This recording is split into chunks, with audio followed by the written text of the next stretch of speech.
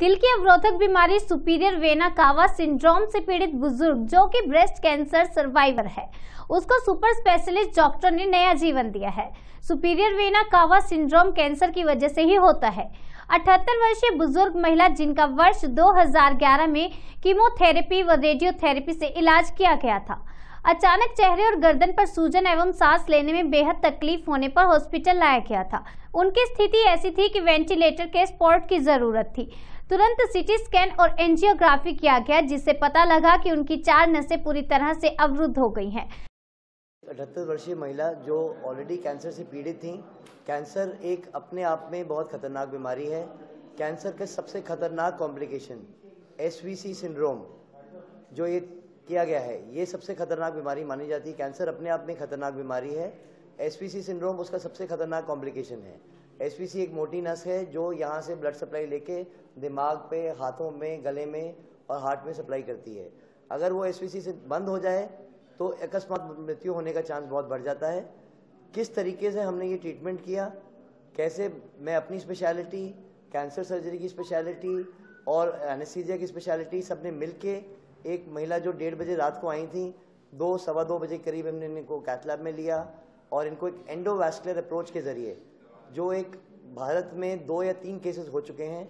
Delhi NCR में मेरे हिसाब से पहला केस है, जो हमने एंडोवैस्कुलर अप्रोच के ज़रिए इसको ना केवल एसवीसी को साफ़ किया राइट साइड की गले की नस को राइट साइड की शोल्डर की नस को लेफ़्ट साइड की गले की नस को लेफ़्ट साइड की शोल्डर की नस को और नीचे की नस को पूरा साफ़ किया over a period of two days two and half hours each side एक एक टाइम पे with a team of almost seven eight doctors involve तो एक मेजर ब्रेक थ्रू है जिसमें हम ओपन हार्ट के बगैर ये काम कर पाए और उसके बाद बेस्ट थिंग वॉज़ दो दिन के अंदर अंदर जो पेशेंट की recovery was sudden and immediate S syndrome में जैसे एक एक मिनट में जो है आपकी मुँह की स्वेलिंग बढ़ती रहती है और पंद्रह मिनट में स्वेलिंग ऐसे बढ़ जाती है कि आपको पता ही नहीं चलता कि ये वही इंसान था जो पहले था।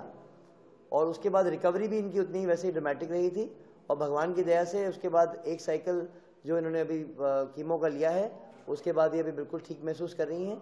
जनवरी में इनका दोबारा पेट सिटी होगा। अगर वो भी बिल्कुल ठीक होता है तो इसमें और कुछ करने की ज़रूरत नहीं है। और कुछ ब्लड थिनर्स पे चल रही हैं। तो it is a very very gratifying result mummy को अचानक से सांस लेने में प्रॉब्लम होने लगी। उनसे उठा हिला ही नहीं जा रहा था। तो कुछ देर हमने वेट किया कि शायद कुछ झटका कुछ आ गया हो तो स्वेलिंग फिर बढ़ती ही चली जा रही थी। एकदम चेस्ट से ऊपर का पार्ट एकदम डबल हो गया था। तो फिर हम इमरजेंसी में मम्मी को यहाँ लेकर आए तो कार्डियो डिपार्टमेंट में हमें भेजा गया। वहाँ हमें डॉक्टर अमित जी मिले वहाँ। उन्होंने इमिडिएटली अटेंड करते हुए तुरंत एक्शन लिया और मम्मी को आईसीयू में किया एडमिट किया और उन्होंने बताया कि जैसे कुछ टेस्ट वगैरह हुए, फिर उन्होंने बताया कि नसें काफ़ी ब्लॉक हैं। तो उसके रिस्क और उसके बेनिफिट दोनों बताते हुए उन्होंने डिसीज़न लेने को कहा। तो हमने उनकी गाइडेंस के अकॉर्डिंग हमने हाँ बोला और डॉक्टर सर से टच में रहे, उन्होंने दो दिन का पूरा टाइम लेते हुए नसों को ब्लॉकेज को खोला और हमें स्टेटस भी बताते रहे। तो उसके बाद जो इमीडिएट जो रिलीफ हमें दिखाई दिया तो वो बहुत सेटिस्फैक्ट्री था। तो अभी हम तीन महीने से सर के टच में ही हैं और मम्मी आज बिल्कुल ठीक है, इस हालत में हम ठीक है।